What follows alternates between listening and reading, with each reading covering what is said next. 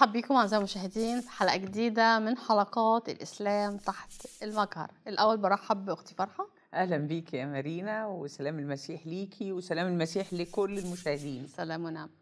النهاردة عنوان حلقتنا إيه؟ تعاليم محمد عكس تعاليم الإله الحقيقي. إحنا النهاردة يا فرحة يعني هنعمل يعني شوية مقارنة. هنجيب كلام المسيح بيقول إيه؟ وتعاليم الإسلام اللي قالها محمد بتقول إيه؟ خلينا صح. نبتدي. اتفضلي. يقول لنا كده في إنجيل متى الإصحاح الخامس؟ اللي هو تعليم المسيح. تعليم المسيح طبعا. طبعا. مم. سمعتم أنه قيل تحب قريبك وتبغض عدوك. مم.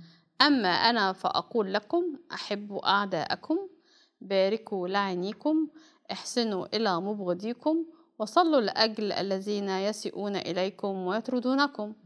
لكي تكونوا أبناء أبيكم الذي في السماوات فإنه يشرق شمسه على الأشرار والصالحين ويمطر على الأبرار والظالمين. لأنه إن أحببتم الذين يحبونكم فأي أجر لكم. أليس العشارون أيضا يفعلون ذلك؟ وإن سلمتم على إخوتكم فقط فأي فضل تصنعون؟ أليس العشارون أيضا يفعلون هكذا؟ فكونوا أنتم كاملين كما أن أباكم الذي في السماوات هو كامل مم. دلوقتي تعليم المسيح بتقول إيه؟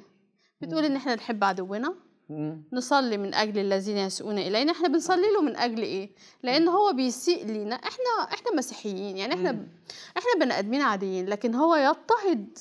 المسيحي لأن اسم المسيح دعي عليه مم. فإحنا بنصلي إن هو يعرف الحقيقة وإن هو كمان ما يروحش الجحيم لأن دي خطية أنت. تضطهد حد. و... وتضايق حد دي حاجة أنت في الآخر هتروح جهنم فإحنا نصلي من أجل اللي بيسيئوا إلينا نبارك اللي بيلعنا. نحب أعدائنا لأن المسيح قال إيه لو أنتوا حبيتوا الناس اللي بتحبكم. طب ما كل الناس بتعمل كده حتى صح. العشارين اللي هم كانت فئة في اليهود. مبغ- مبغوضة. بتجمع مكروهة. الفلوس من الناس آه، بتشتغل لحساب الرومان وكده. بيقول لك حتى العشارين اللي أنتوا مش بتحبوهم هم مع بعض بيحبوا. كده. يعني العصابه بيحبوا بعض. العصابة مع بعض بيحبوا بعض. صح. أي الناس مع بعض بتحب بعض لكن الأسمى والأحسن إيه؟ إن أنا أحب المغير ليه؟ إن أنت تكون زيي أنا. زي مم. ربنا. مم. ليه؟ لأن ربنا بيحب البشر كلها. لما بيشرق شمسه بيشرق شمسه على شمسه على كل الناس. لما بيمطر بيمطر لكل الناس. بيحك بيحب كل الناس برغم حتى إن الناس اللي بترفضه ومش بتبقى عايزة تمشي صح. في طريقه. صح. فراح قال لنا كونوا أنتم إيه؟ كاملين كما أن اباكم الذي في السماوات هو كامل. صح. فإحنا نكون زي ربنا. دي التعاليم المحبة. الله محبة. ما نفرقش. في المحبة بين إن أنت مسلم مسيحي يهودي بوذي ملحد. لا ديني أنا ماليش دعوة. في ربنا فوق هو اللي شايف.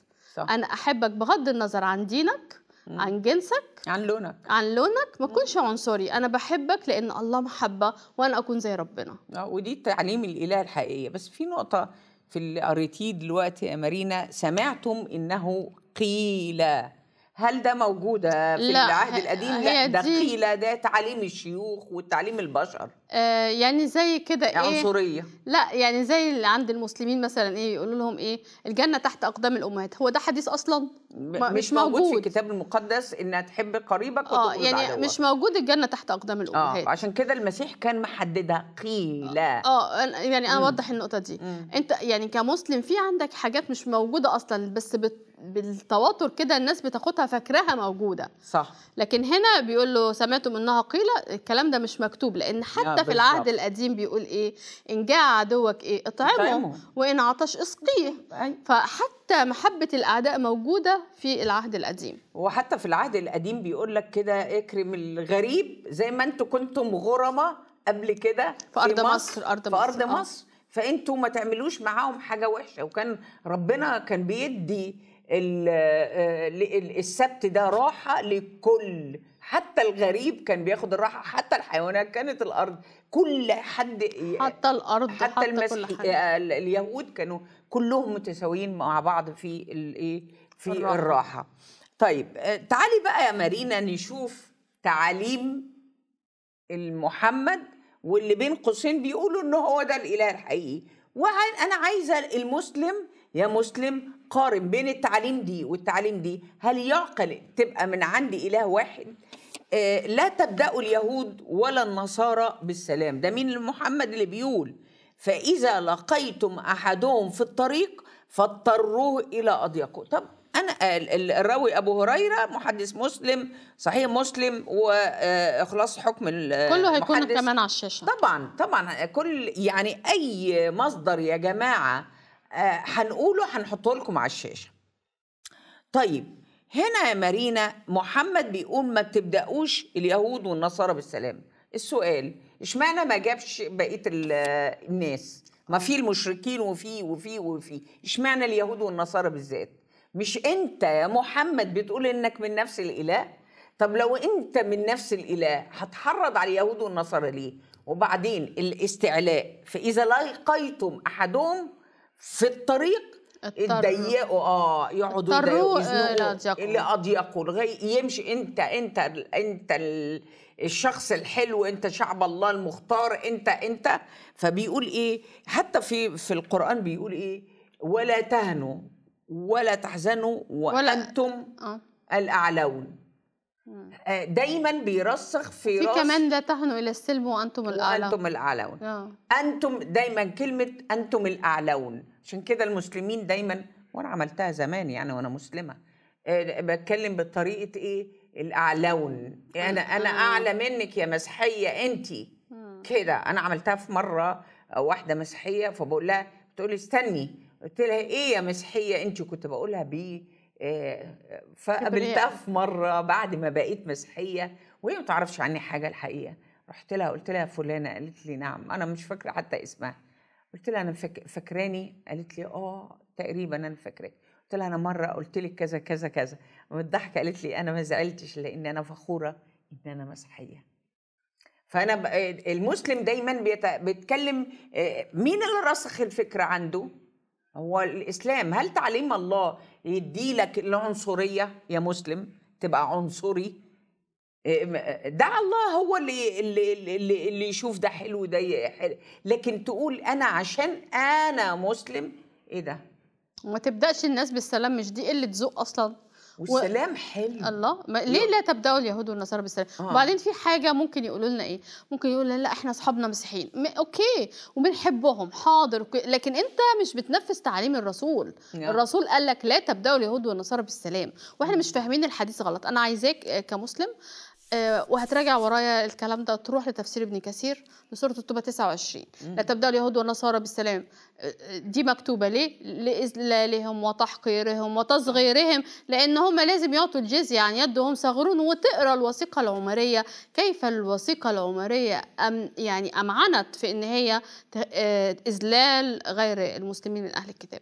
اقرأ تفسير تس... التوبه 9 التوبة عشان ما يقولوش التوبة دي ها. التوبة 29 بتفسير ابن كثير وخلينا نشوف يسيبوا الموضوع ويمسكوا في حاجة آه تاني. يس... آه. اتفضل يا مارينا خلينا نشوف برضو أنا هتكلم بقى من العهد القديم.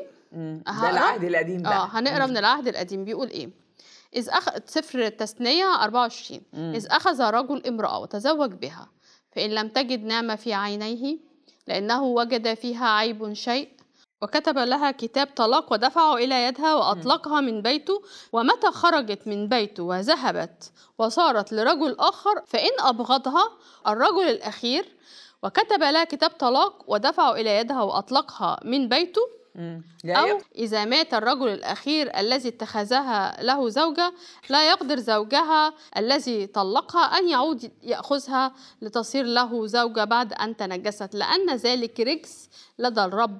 فلا تجلب خطية على الأرض التي يعطيك الرب إلهك نصيبا. هنا بيقول إيه؟ إن لو في راجل اتجوز واحدة.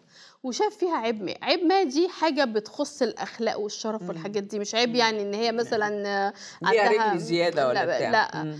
آه، طب أنت طلقتها راحت هي اتجوزت راجل تاني مم. الراجل التاني ده بعد عنها يعني مات أو طلقها مم. ما ترجعش تتجوز لجوزها الأولاني مم. لأن دي خطية مم. ربنا علم الشعب إن ده نجاسة ورجس وإن دي أنت كده بتنجس الأرض. أنت كده بتعمل حاجة رجس في عين ربنا. طلقت مراتك؟ راحت اتجوزت راجل تاني؟ خلاص. طب الراجل التاني ده مات؟ ما ترجعش للأولاني. صح. الراجل التاني ده طلقها؟ ما ترجعش للأولاني. يعني ادي وصية باينة واضحه في آه، سفر التثنية. طيب الإله هذا الإله هل معقول يقول كلام مغاير لو هو نفس الإله في الإسلام؟ يقول إيه؟ فإن طلقها فلا تحل له من آه، بقرة 230 فإن طلقها فلا تحل له من بعد حتى تنكح زوجا غيره. فإن طلقها فلا جناح عليهما أن يتراجعا إن ظن أن يقيم حدود الله وتلك حدود الله يبينها لقوم يعلمون. دي سوره البقرة. طيب ابن كثير بيقول إيه؟ بيقول فإن طلقها فلا تحل له. يعني المسلم لو طلق مراته ما تحلش له من بعد حتى تنكح زوجا غيره. أي إنه إذا طلق الرجل امرأته بيفسرها تاني. امرأته طلقة ثالثة الطلقة الثالثة ومعظم المسلمين عارفين الكلام ده بعد ما أرسل عليها الطلاق مرتين فإنها تحرم عليه. إمتى؟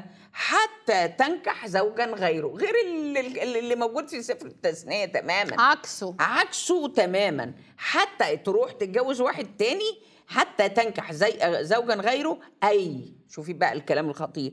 حتى يطأها زوج آخر في نكاح صحيح. لازم يتجوزها في نكاح صحيح. دي نمرة واحد. الشروط. آه. فلو وطأها في غير نكاح ها يعني زنى بها أو في ملك يمين. يعني ملك اليمين مش زواج.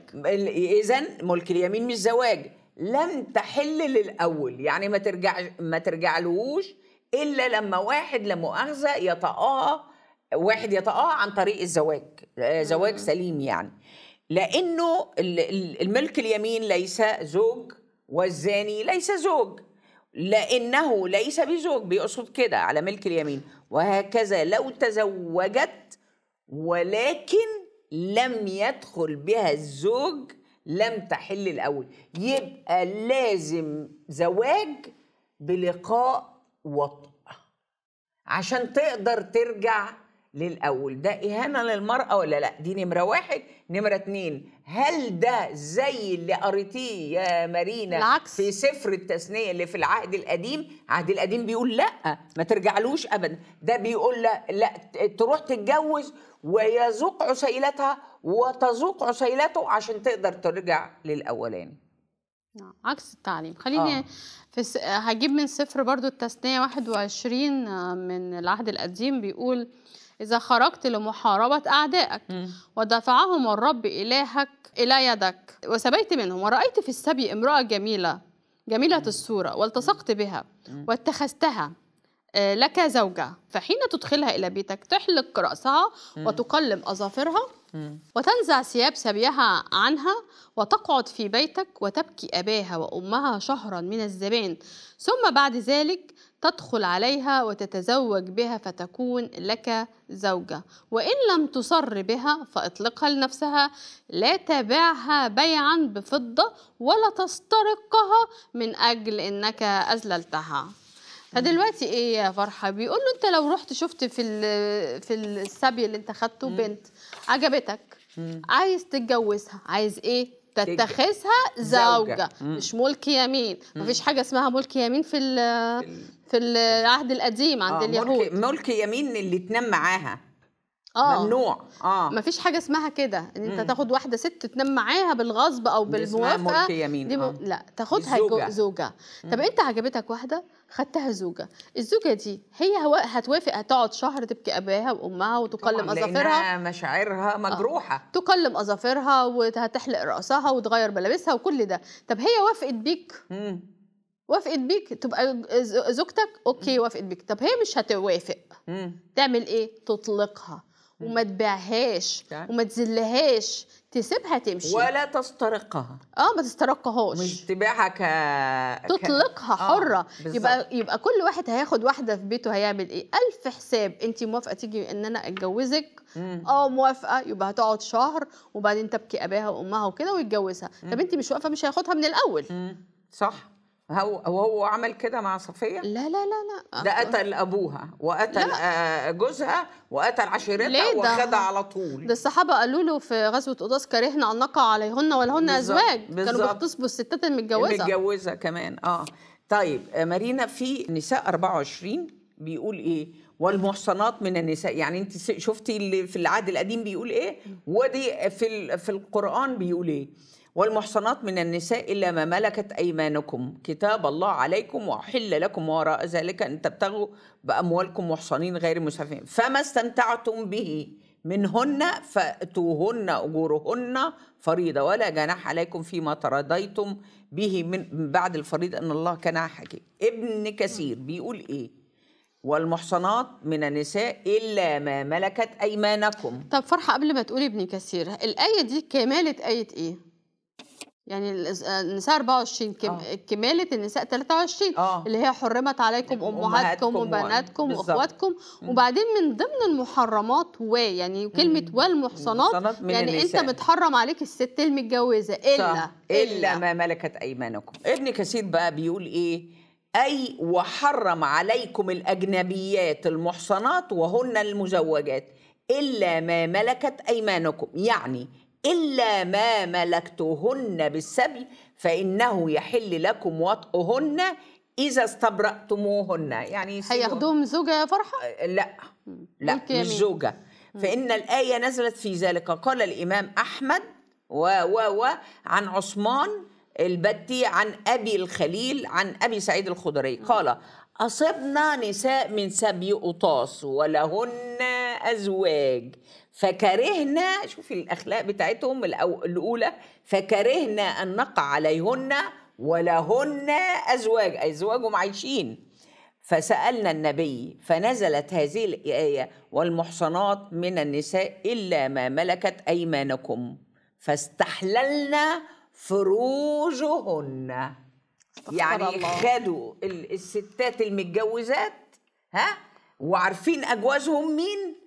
واستحلوا الفروج بتاعتهم. والكتاب المقدس بيقول إيه؟ لما يحصل كده تاخدوها زوجة دي نمرة واحد تدوا لها شهر تبكي أباها وأمها اتفضلي. يعني إحنا النهارده قدمنا لكم نموذج صغير. نقط مش كل الكلام. نقط صغيرة تعرفوا بيها الفرق بين تعاليم الإله الحقيقي اللي بتسمو بالإنسان وتحافظ على مشاعر الإنسان والتعاليم اللي جابها محمد اللي هي عكس تماما تعاليم التوراة والإنجيل. ونلتقي بكم في الحلقة القادمة من الإسلام تحت المجهر.